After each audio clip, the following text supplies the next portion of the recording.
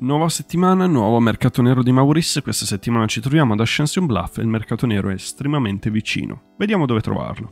Vi ricordo di iscrivervi nel caso non lo siete ancora per non perdervi la settimana prossima quando il mercato nero di Maurice cambierà posizione contenuto. Inoltre, se volete supportarmi, è attiva la funzione abbonamenti di questo canale a un prezzo bassissimo.